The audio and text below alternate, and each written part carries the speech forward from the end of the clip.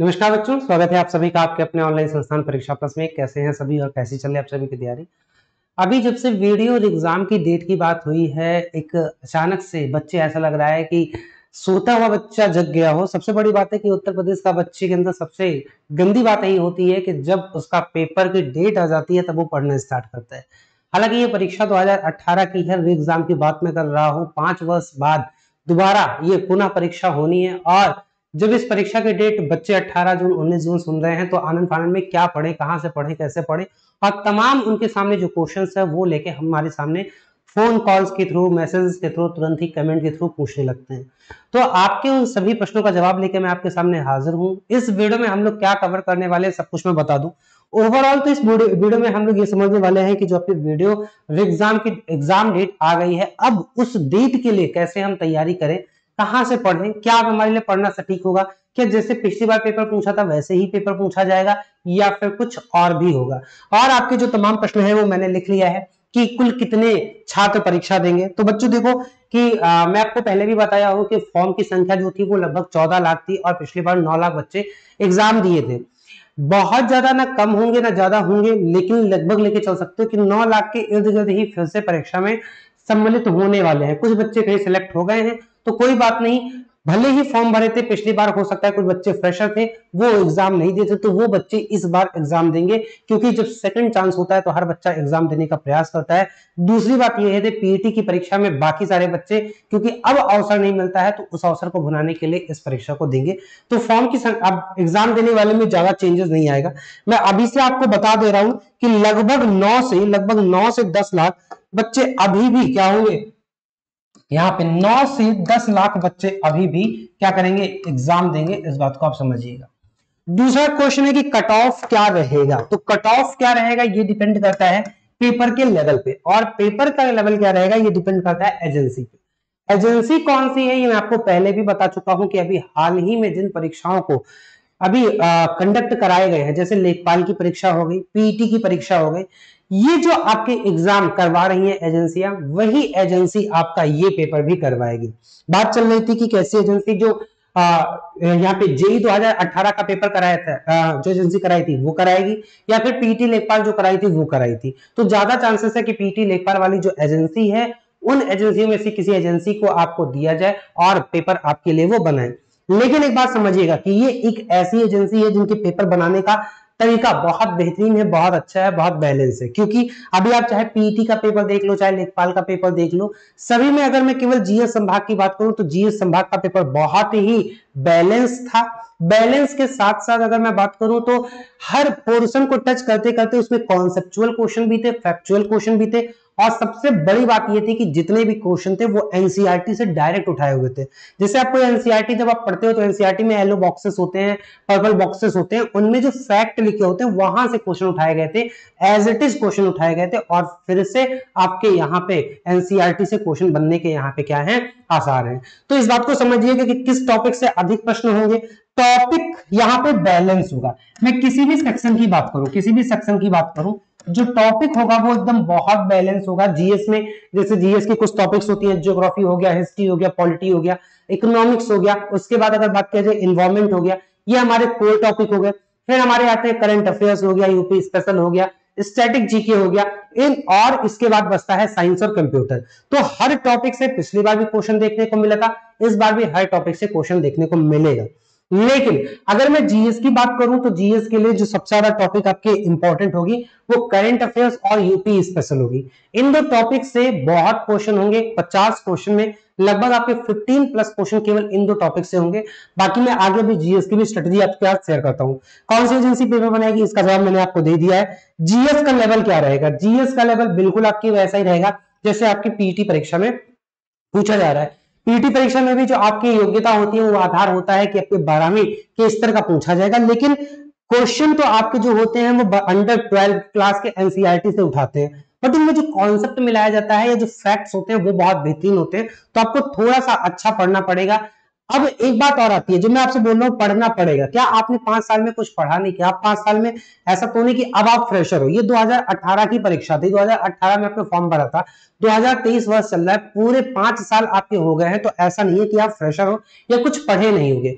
हो सकता है कि जीएस संभाग में या रीजनिंग संभाग में या हिंदी संभाग में कोई एकाध पोर्शन आपका कमज़ोर हो, एकाध पोर्शन आपका क्या हो, यहाँ पे ना पढ़े हो। लेकिन मैक्सिमम पोर्शन आपने पढ़ा है तो नया कुछ नहीं पढ़ना है। अब जो करना है, वो आपको क्या करना है, वो आपको प्रैक्टिस करना है। क्या करना है बच्चों, वो आपको प्रैक्टिस करना है। तो प्रैक्टिस पे आपको सबसे ज़्यादा दिमाग लगाना है। और सबसे बड़ी बात है प्रैक्टिस कहाँ से करना है? प्रैक्टिस के लिए सबसे बेहतरीन जो तरीका है, वो आपका है टेस्ट सीरीज़ टेस्ट सीरीज़ कहाँ से दें? टेस्ट सीरीज़ आप मल्टीपल जो इंस्टीट्यूट है, उनके लगाइए और ऐसे इंस्टीट्यूट के ज़रूर लगाइए जिन पे आपको ज़्यादा भरोसा है या जो ऐसे पैटर्न पे लेके चलते हैं। देखो, सब कुछ क्या होता है, सब कुछ होता है क्यों? कौन सी संस्था एग्ज़ाम के पैटर्न को फॉलो कर पा रही है? और किसकी एनालिसिस बहुत ज़्यादा है? बहुत सारी संस्थाएँ ऐसे भी होती है जो हो सकता है कि बहुत सारे टेस्ट करवा दे। लेकिन एक भी आपके काम करना हो तो बहुत ऐसे अनर्गल टेस्ट भी लगाने से बचिए, बहुत फालतू के टेस्ट लगाने से बचिए। मतलब नहीं कि कोई भी संस्था आ जा रही है, आपको फ्री टेस्ट के नाम से करा रही है, आपको सौ रुपए में टेस्ट दे रही है, एक सौ निन्यानवे में टेस्ट दे रही है और आप टेस्ट लगा रहे हो। वहाँ पे भी आपका दो घंटा, तीन घंटा जा रहा है, उसके पीछे भी आपको समय बचाना है। और दूसरी बात की इस पेपर में 50 परसेंट निगेटिव है।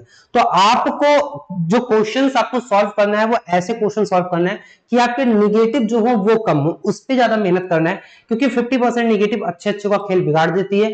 और जिस प्रकार से लेखपाल का या पीटी के पेपर में आपके कॉन्सेप्चुअल पेपर रखे गए उसमें बच्चों के निगेटिव बहुत होते हैं, बहुत ज़्यादा निगेटिव मार्किंग होती है। और अगर 50 परसेंट वैसे इंग्लिश में तो वन फोर्थ था बट अगर 50 परसेंट निगेटिव हो जाएगा तो आपका स्कोर बहुत तेज़ी से नीचे आएगा। पिछली बार भी जो कट ऑफ़ था, वो 300 में से 211 गया था, उसका एक कारण निगेटिव मार्किंग ही थी।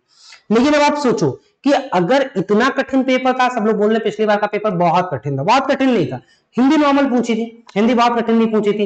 इवन आपका जीएस बहुत कठिन नहीं पूछा था, लेकिन थोड़ी सी रीजनिंग और रीजनिंग लेंदी कुछ क्वेश्चन पचास के पचासों क्वेश्चन लेंदी नहीं थे। उसमें सीरीज़ के क्वेश्चन या फिर एनालॉजी के क्वेश्चन या फिर वेन डायग्राम के क्वेश्चन वो तो आसान थे। तो कभी भी पेपर में आपके सभी, के सभी क्वेश्चन टफ नहीं होते। हैं और इसका भी एक मॉड्यूल होता है जो मैं आगे आपको अभी बताता हूँ। लेकिन उससे पहले हम देख लें, ये प्रीवियस ईयर पेपर की कुछ एनालिसिस है। प्रीवियस ईयर पेपर के एनालिसिस केवल मैं इसलिए आपको ले लेके आया हूँ ताकि आप इस बात को समझ पाओ बच्चों कि किन टॉपिक से क्वेश्चन पूछा जा रहा है। क्योंकि अभी वीडियो के एग्ज़ाम अगर आप नोटिफिकेशन उठाओगे तो उसमें जो सिलेबस उसने दिया है, तीन सेक्शन है आपके। एक आपका क्या है? एक आपका जीएस है, दूसरा आपका क्या है? हिंदी है, तीसरा आपका क्या है? रीजनिंग है। केवल तीन सेक्शन 150 क्वेश्चन 200 नंबर का, और 50 परसेंट मार्किंग ये आपका एग्जामिनेशन पैटर्न है। और इसमें अगर मैं आपसे बात करूँ तो जो सिलेबस इसने डिस्क्लोज नहीं किया है जैसे जनरल हिंदी की बात कर दिया है भाषा का ज्ञान की बात कर दिया है रीजनिंग में तार, तार्किक क्षमता की बात कर दिया है या जीएस में आपके इर्द गिर्द की जानकारी की बात कर दिया है तो उसने कोई डिस्क्लोज नहीं किया है कि इनमें किस टॉपिक से पूछेगा जैसे आप किसी अन्य बोर्ड के या फिर यूपी ट्रिपल एस के ही अन्य एग्ज़ाम के सिलेबस को देखते हो तो वो ओपन करके देता है। जैसे पीटी में पर्टिकुलर टॉपिक टॉपिक बता दिया कि इसी टॉपिक से पूछेंगे। बट वीडियो में जब 2018 की बात थी तब ये सिलेबस को बहुत ज़्यादा डिस्क्लोज नहीं करते थे। ये आपका अब हिंदी मतलब संपूर्ण हिंदी है जीएस मतलब संपूर्ण जीएस है और रीजनिंग मतलब संपूर्ण जीएस है और पिछली बार का पेपर भी इसी पैटर्न पे बना था। अगर आप रीजनिंग की बात कर लो, अभी क्वेश्चन डिस्ट्रीब्यूशन पे मत जाओ, क्योंकि ये पिछली बार का डिस्ट्रीब्यूशन है, हो सकता है इस बार डिस्ट्रीब्यूशन अलग हो।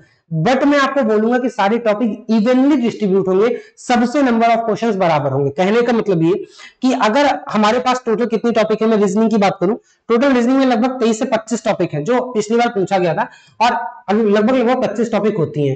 तो पचास क्वेश्चन को अगर पच्चीस में डिवाइड किया जाए तो ईच टॉपिक से लगभग दो क्वेश्चन पूछा जाएगा। अब ये बात अलग है कि हो सकता है मल्टीपल शिफ्ट में हो जाए।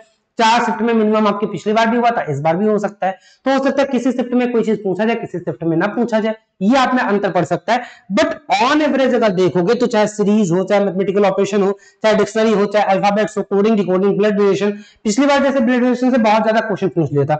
बट इस बार इतना ज़्यादा नहीं पूछेगा, दो तीन क्वेश्चन यहाँ पे एवरेज रहेगा। एनोलॉजी हो गया सिलॉक्स हो गया डीआई हो गया डेटा सफिशियंसी से क्वेश्चन पूछा था। स्टेटमेंट कंक्लूजन आर्गुमेंट हो गया डिसीज़न मेकिंग हो गया फिगर सीरीज़ हो गया ऑड वन आउट हो गया क्लॉक लॉजिकल हो गया वेन डायग्राम हो गया डिस्टेंस डिरेक्शन हो गया puzzle counting figure mirror image figure image figure rotation embedded figure dice ये तमाम ऐसे जो आ, बोल सकते हो कि पॉइंट है जिससे रीजनिंग में जहाँ से प्रश्न बनते हैं। तो सारे टॉपिक से दो तीन दो तीन दो तीन अगर किसी से एक कम तो किसी से एक ज़्यादा। लगभग ऑन एवरेज दो या तीन? ऐसे प्रश्न आप बोल सकते हो कि दो प्रश्न इस टॉपिक से बनेंगे तो सारे टॉपिक पे आपको प्रैक्टिस करना अनिवार्य है। अन्यथा आप क्या हो जाओगे, हो सकता है कि एग्जामिनेशन में और कॉम्पिटिशन बहुत ज़बरदस्त होगा कि जो बच्चे पिछली बार रह गए थे, वो पूरा अपना इस बार दम लगा देंगे कि किसी तरह हमें वीडियो में 2000 में से कोई एक पद अपने नाम पे कर लेना है, वरना शायद ये मौका दोबारा मिले ही ना। तो इसलिए आपको भी वही सोच के मेहनत करना है। हिंदी में देखा जाए तो हिंदी में अगर ऐसे देखा जाए तो करीबन पैंतीस टॉपिक मैंने यहाँ पे लिखा है, ठीक है? पैंतीस टॉपिक लिखा है। पत्र लेखन हो गया लेखन, ये वो टॉपिक है जहाँ से पिछली बार क्वेश्चन पूछा गया था। वर्णमाला, लिंग, संधि, समास उपसर्ग प्रत्यय, तत्सम, तद्भव देश विदेश संज्ञा सर्वनाम क्रिया, विशेषण क्रिया, विशेषण, संबंध, वाचक समुच्च वादक अबोधक विस्मयादि बोधक, पर्यायवाची, विलोम, शब्द, युग्म हो गया, शब्द शुद्धि हो गया, वचन, कारक, अव्यय, रस, छंद, अलंकार, काल, विराम, चिन्ह, मुहावरे वाच्य हिंदी, साहित्य का इतिहास, वाक्यांशों के लिए शब्द निर्माण और अनेकार्थी शब्द और अनेक शब्दों के लिए एक शब्द। ये सारे ही टॉपिक क्या थे? पिछली बार पूछे गए थे। मतलब हिंदी में अगर टॉपिक्स का डिवीज़न किया जाए तो 35 से 40 मतलब ऑन एवरेज हर टॉपिक से एक दो क्वेश्चन पूछा जा सकता है। लेकिन एक बात समझना, अगर गद्यांश पद्यांश पूछा तो उसमें पाँच क्वेश्चन वो बल्क में पहले ही पूछ लेगा। तो बचा कितना? 45 क्वेश्चन और 45 क्वेश्चन में टॉपिक कितनी बची है हमारे पास? टॉपिक बची है पैंतीस तो इस हिसाब से अगर देखा जाए तो एक से दो क्वेश्चन हर टॉपिक से पूछ सकता है। किसी से एक तो किसी से दो, फिर किसी से एक या किसी से एक भी नहीं। बट एक से दो ऑन एवरेज हर टॉपिक को पढ़ते हुए चलना है, कुछ भी नहीं छोड़ना है। कई बार अक्सर बच्चे पूछते सर आएगा क्या? सर, छंद पढ़ूँगा क्या वीडियो के लिए? मेरे भाई, मेरा एक ही जवाब रहेगा, आप पढ़ो, नहीं पढ़ोगे, अगर एक दो नंबर से आपका रुकेगा ना, यकीन मानो कि वो वो जो पछतावा होता है एक दो नंबर से रुकने वाला, वो जीवन में कभी नहीं भूला पाओगे और शायद ये ईश्वर ने जो आपको दूसरा मौका दिया है, ये दूसरा मौका भी शायद कभी ना दे। तो इतना मैं आपको बोलूँगा कि ये सारे टॉपिक आप पढ़ते चलो, पढ़े सब हो यार, हो सकता है एक आध टॉपिक आपका छूट रहा हो तो उसे आप पढ़ लो रिवाइज कर लो, है ना? इसके लिए मैं आपके लिए बहुत अच्छा बहुत अच्छा इसके लिए कॉन्सेप्ट भी लेके आऊँगा, कैसे करना है, ये थोड़ा मैं इसे और दिखा दूँ। तीसरा है जीएस तो जीएस में पिछली बार कंप्यूटर से भी था यूपी स्पेशल भी था history geography polity economics current affairs science और जनरल अवेयरनेस सारे ही टॉपिक से पिछली बार भी प्रश्न था। अब सबसे बड़ी बात यह आती है कि सर हम कौन से टॉपिक पढ़े, कौन से टॉपिक छड़े तो मैं बार बार यही बोल रहा हूँ कि बच्चों, आपको पढ़ना सारे के सारे ही टॉपिक है। सारे के सारे टॉपिक आपको पढ़ना है। छोड़ना कुछ नहीं है। लेकिन अब ये हम किस हिसाब से पढ़ें? जैसे भी देखा जाए तो आपका ये अप्रैल महीना एंड होने वाला है। ये लास्ट सप्ताह चल रहा है, ठीक है? और उसके बाद आपके पास मई में बच रहा है। मतलब कि मुश्किल से अगर देखा जाए तो साठ दिन तो पूरा कंप्लीट नहीं हो पाएगा, मुश्किल से पचास से पचपन दिन आपको एग्ज़ाम देने के शायद मिले। तो पचास से पचपन दिन में हमें करना क्या है? इसलिए टीम परीक्षा प्लस आपके लिए फोर्टी डेज़ बहुत ज़बरदस्त प्लान ला रही है फोर्टी डेज़ मतलब ईच सब्जेक्ट से फोर्टी वीडियोस ईच सब्जेक्ट से ईच सब्जेक्ट से लगभग फोर्टी वीडियोस ये एक कोर्स आपको चला रही है, बहुत बेहतरीन। और ये जो कोर्स होगा, ये फ्री कोर्स होगा, और ये कहाँ पे चलेगा? ये आपका टेलीग्राम कोर्स होगा, ये का टेलीग्राम कोर्स होगा। टेलीग्राम का फ्री कोर्स होगा। वैसे जनरली लोग यूट्यूब पे व्यूज़ के लिए, इन सब के लिए चलाते हैं। हम लोग ऐसा बिल्कुल नहीं करेंगे। ये ऐसे डेडिकेटेड होगा कि आप एक ही जगह सारा कंटेंट पाके और आप उसे बस केवल देख डालो। ये जो 40 वीडियो इस सब्जेक्ट से होगी मतलब मैं अगर डिस्ट्रीब्यूट करूँ तो रीजनिंग का मैं एक अलग सब्जेक्ट दूँगा, हिंदी को अलग सब्जेक्ट दूँगा, उसके बाद जीएस के अलग अलग पार्ट को। जैसे कोर पार्ट को अलग दूँगा और जो नॉन कोर टॉपिक है, या डायनेमिक टॉपिक है, जैसे जनरल अवेयरनेस हो गया करंट अफेयर्स हो गया यूपी हो गया, इनको अलग देंगे। तो जीएस के मतलब 40 40 ऐसे 40 जीएस के 40 आपके क्या हो जाएँगे? रीजनिंग के 40 हिंदी के हो सकता है जीएस के 10 20 वीडियोस और बढ़ जाए। इस हिसाब से आपको टोटल 150 प्लस 150 प्लस वीडियोस और ये वीडियोस ऐसा नहीं होगा कि आपको कोई नए सिरे से पढ़ाया जाएगा। ये रिवीजन वीडियो होगा रिवीजन वीडियो होगा। और ये सबसे बड़ी बात है कि एनसीईआरटी बेस हो। एनसीईआरटी बहुत अच्छा कॉन्सेप्ट आप के लिए लेके आ रही है टीम परीक्षा प्लस ताकि, और खासकर ये एनसीईआरटी जो मैं कॉन्सेप्ट बता रहा हूँ, ये आपके जीएस सेक्शन में, क्योंकि वहाँ से आपके प्रश्न बन रहे हैं। अब हम इसे कराएँगे कैसे? मैं आपको थोड़ा सा बता दूँ। लाइक जैसे अगर मैं पूरा हिस्ट्री ले लू। हिस्ट्री में अगर मैं टॉपिक ले लू दिल्ली सल्तनत। तो दिल्ली सल्तनत से जितना भी क्लास टेंथ के इलेवंथ के ट्वेल्थ के एनसीआरटी में है उनसे सारे फैक्ट को एक जगह कलेक्ट किया जाएगा। उन्हें as a pointer wise as a question wise या फिर आपको कुछ ऐसे इंटरेस्टिंग फैक्ट के हिसाब से वो पूरा दिल्ली सल्तनत आपको 30 मिनट 35 मिनट में एक क्विक रिवीजन के तौर पे कि आप उसे बस एक बार देख लो और उसके साथ में ही जो नोट्स होंगे वो आपको टेलीग्राम पे ही दे दिए जाएँगे। तो 150 आपके प्लस वीडियो और इन्हीं के क्या हो जाएँगे? इन्हीं के पीडीएफ आपके, इन्हीं की पीडीएफ ये भी 150 प्लस ही आपके लगभग पीडीएफ रहेंगी। इवन वो ज़्यादा ही रहेंगी पीडीएफ ज़्यादा रहेंगी। और इसके अतिरिक्त हम आपको फ्री टेस्ट ये आपको जो फ्री टेस्ट फुल लेंथ आपको 150 150 क्वेश्चन का मतलब 50 50 50 तीनों सेक्शन का, ये आपका परीक्षा प्लस ऐप पे करवाएँगे। तो ये आपका जो रिवीजन एनसीआर ये जो आपका कोर्स चलेगा फ्री टेलीग्राम कोर्स आपका है 150 प्लस वीडियो और 150 प्लस पीडीएफ के। ये आपको टेलीग्राम पे मिलेगा। वो टेलीग्राम कौन सा होगा? तो इसी वीडियो में टेलीग्राम चैनल का लिंक लगा हुआ है परीक्षा प्लस के। उसी टेलीग्राम चैनल पर यह पूरा चलाया जाएगा। आप लोग इस लिंक के थ्रू टेलीग्राम चैनल से ज़रूर जुड़ो।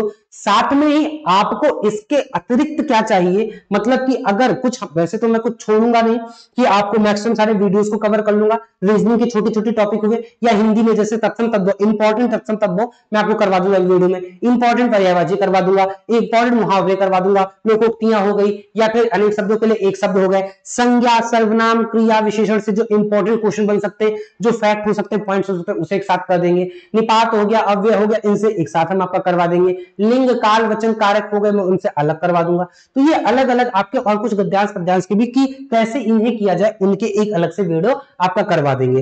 तो ये जो हमारे कोर टीम है कोर फैकल्टी है, उनके माध्यम से ये सारी चीज़ें आपको उपलब्ध हो जाएँगी। हमारे टेलीग्राम चैनल पे मिलेगी। इसकी सारी वीडियो जो है, वो परीक्षा प्लस ऐप पे भी आपको लगी मिल जाएँगी। तो कहीं आपको वीडियो सपोज़ करें टेलीग्राम पे बहुत सारे मैसेज हो जाते हैं, ऊपर नीचे हो जाते हैं। तो आप अगर परीक्षा प्लस ऐप पे जाओगे वहाँ पे आपको जैसे ही ऐप डाउनलोड करोगे इंस्टॉल करोगे, खोलोगे तो आपकी परचेजेस में एक वीडियो फ्री कोर्स के नाम से वीडियो फ्री टेलीग्राम कोर्स के नाम से आपको एक कोर्स मिलेगा। वहाँ पे ये सारी वीडियो और पीडीएफ लगी मिलेंगी, वहीं पे ये टेस्ट लगा मिलेगा।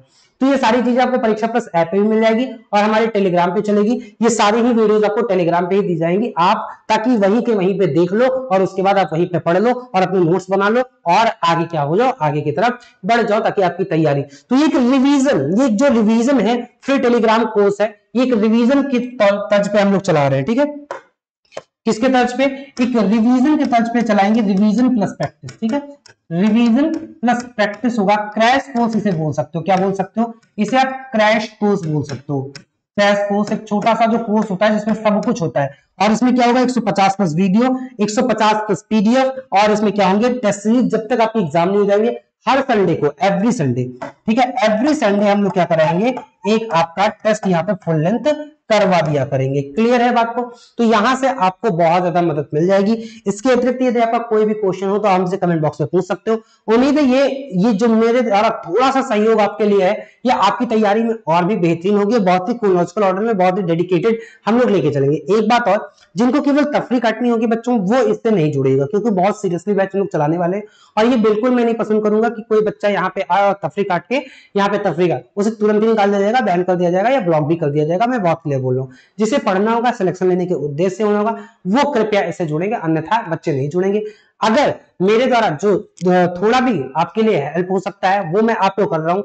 इसके अतिरिक्त जो भी आपकी नींद होगी, मुझे कमेंट बॉक्स में बताइए। अगर चैनल पे नए चैनल को सब्सक्राइब अवश्य कर लीजिएगा और वीडियो पसंद आए तो सेशन को लाइक अवश्य कर दीजिएगा। अगर ये मेरे द्वारा जो प्रयास है, आपको पसंद आता है तो एक वीडियो पे थम्सअप अवश्य करिएगा, ताकि मुझे समझ में आए या कमेंट में ज़रूर लिखिएगा, ताकि समझ में आए कि आप इस वीडियो को देखने के बाद मुझसे एग्री है या नहीं है। चलिए फिर मिलते हैं। बहुत बहुत धन्यवाद सभी का। बहुत बहुत आभार।